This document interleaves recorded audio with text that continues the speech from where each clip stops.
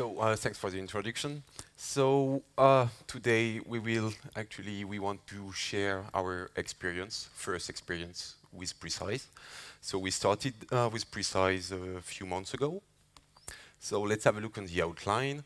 So after explaining our goals, so doing like multi-physics coupling with different solvers, uh, we will focus on different, let's say, other different changes that have been done uh, in adapters, solvers, and all those things. After, we will have a look on some first results and uh, some issues with preCICE. And uh, then, yeah, one conclusion and some uh, future work. So our goal is to do some multi-physics coupling. So exactly to do a six-way coupling, so DEM, CFD, and FEM, so with some volume coupling thanks to DEM. And we want to have like interaction between fluid and deformable object, but also particles and fluid, but also deformable object and particles. So we focus on three solvers, OpenFOAM for the CFD, deal.II for FEM, and XDEM for DEM. Our starting point was a preCICE tutorial, so fluid structure interaction with uh, OpenFOAM and deal.II, where two, let's say, data are exchanged, so the displacement from uh, deal.II to OpenFOAM, and the forces from the fluid uh, goes to deal.II. And uh, our goal is exactly this schema. So um, we add XDEM for the DEM part, and we have to exchange actually so a displacement to deal.II for particles, and uh, also to add porosity and momentum for the CFD side, and buoyancy and drag force. So um, in red is actually the different changes that have been done. So in OpenFOAM, we actually add a porosity field. We apply also the porosity uh, with Darcy law, thanks to FV option. And we also add the support for volume coupling to OpenFOAM. Um, for deal.II, we just add a small function to sum like the forces from OpenFOAM and uh, XDEM. And uh, from the XDEM part, we actually create a coupling interface, compute the porosity, drag force, buoyancy, and create the adapter. So for deal.II, uh, the first thing was to like compute the sum of forces, because we have forces from OpenFOAM that must be applied to the FEM part, but also forces from XDEM. So we just create a function to sum these two forces and apply these forces to the FEM deformable object. So yeah, we put also some open questions because we do that part actually manually. So we don't know if, yeah, there is a way to do some operations from different, let's say, meshes and different solvers within preCICE. That's an, we can discuss actually later. so from um, the OpenFOAM side, let's say we choose a solver porous pimple foam. So we add the porosity field, and we apply the porosity uh, with Darcy law, thanks to FV option. And for the uh, OpenFOAM, we have to add the support for uh, the volume coupling.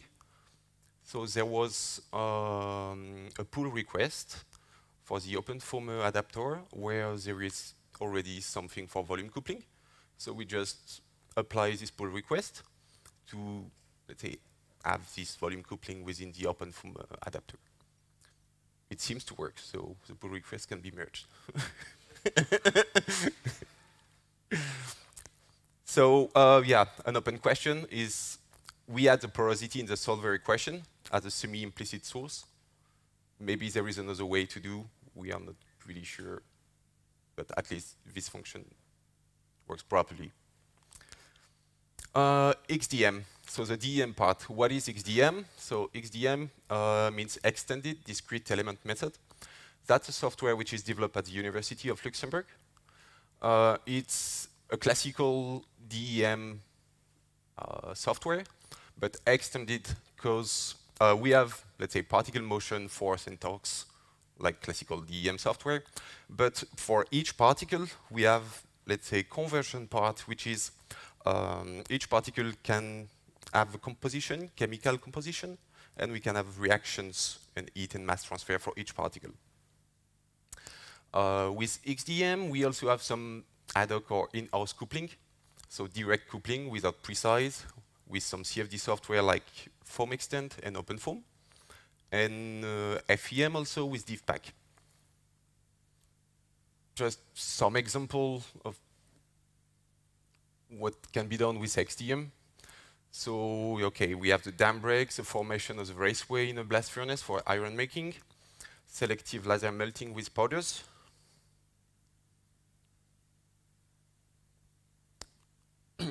and okay, for uh, XDEM.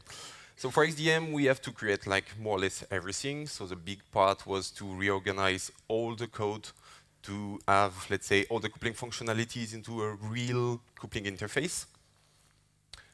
Um, and it's actually split in three parts. So the creation of the XDEM ad adapter for preCICE, and uh, two different interfaces, one for the CFD side and one for the FEM coupling.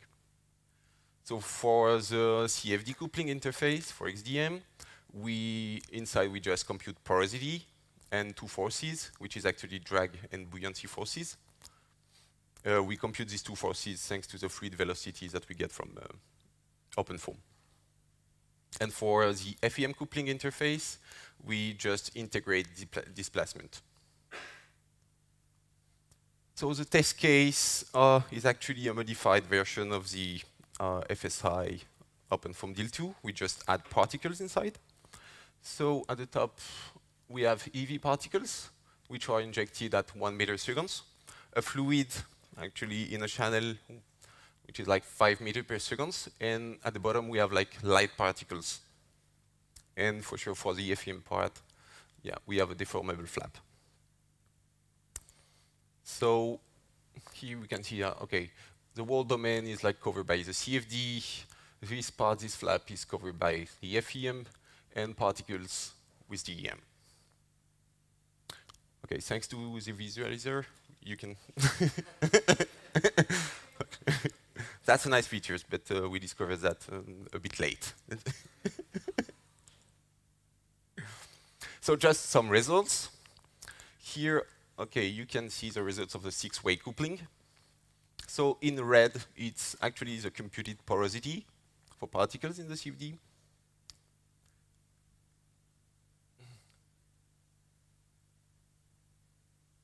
Okay, so EV particles are going down, and light particles are going up and pushed by the fluid.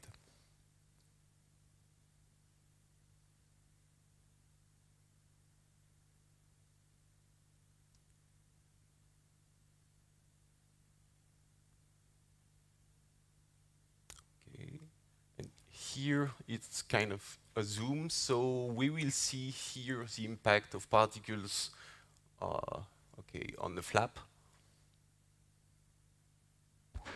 And we can also see that the particles are interacting with the fluid, and the fluid with particles.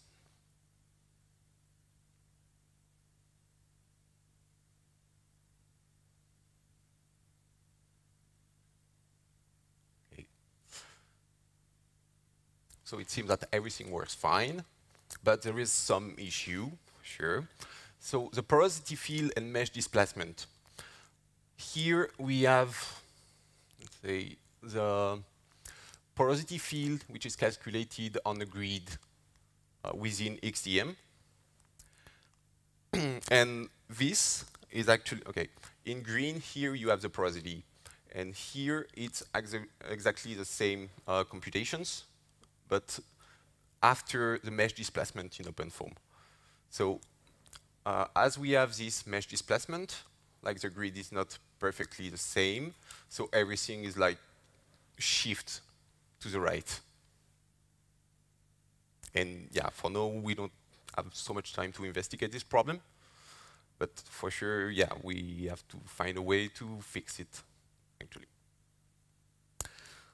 So as a conclusion, we try this volume coupling with this pull request 97.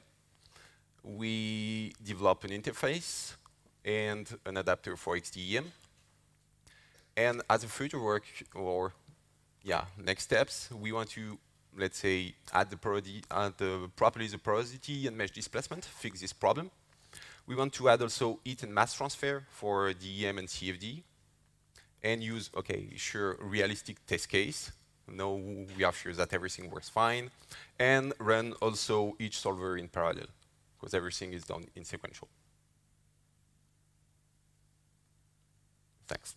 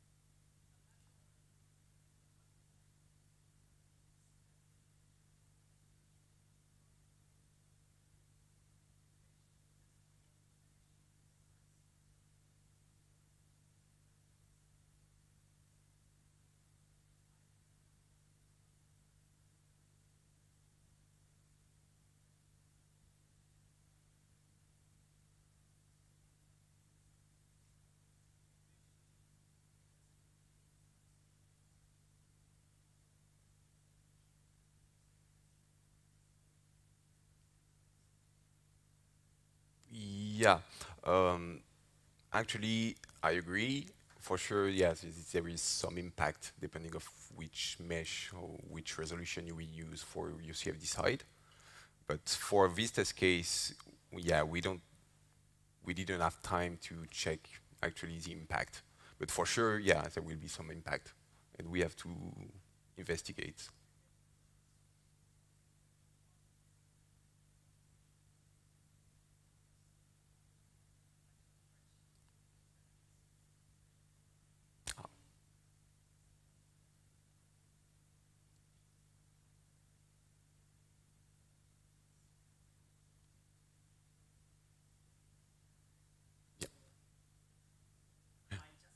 Yeah.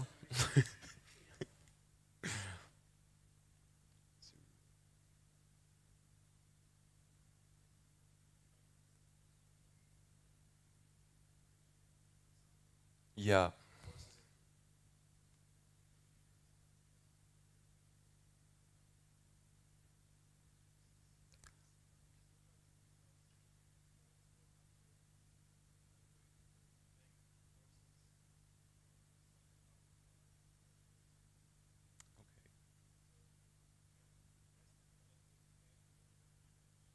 Yeah, because actually we change the adapter and we compile it.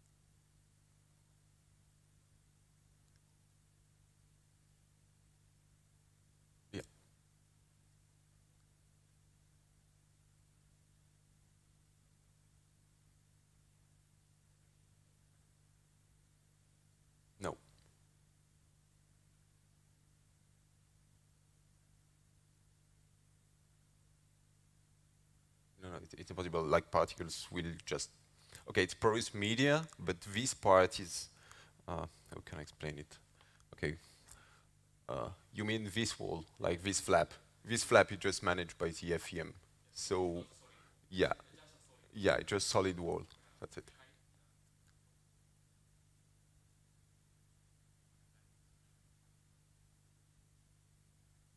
I, I guess guess so yeah. Everything is like possible. Rhino now.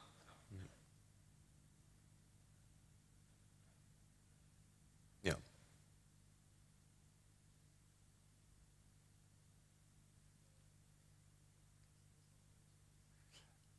Unfortunately, not.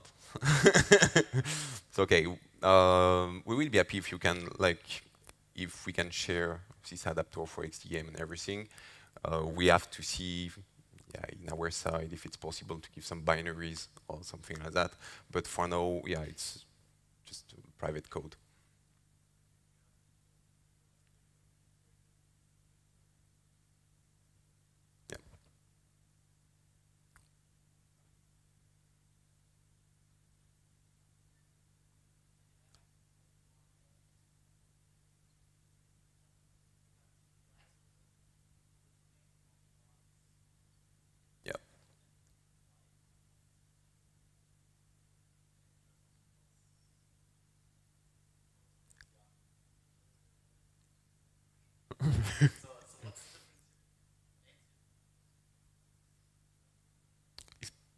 Plenty of you.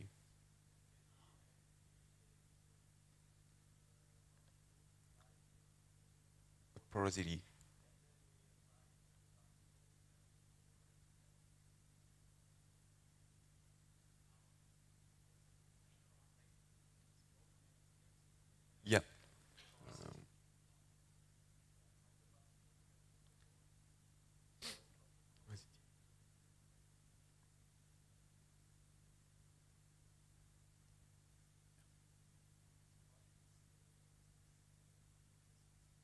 That's the actual size.